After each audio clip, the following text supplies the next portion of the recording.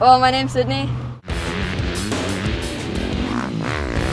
I race women's professional motocross.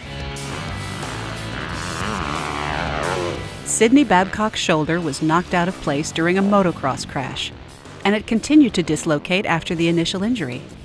Finally, she went to see Dr. Chris Wahl. He's a UW Huskies team physician and an orthopedic surgeon who treats his patients at the University of Washington Sports Medicine Clinic.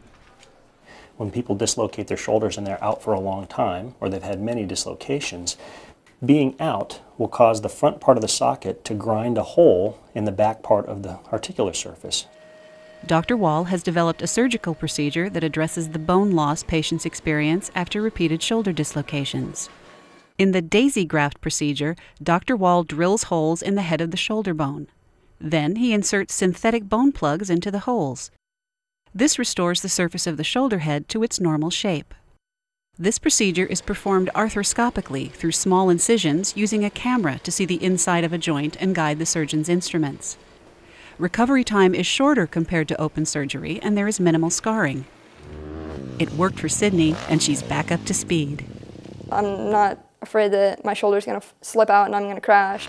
The results were really good.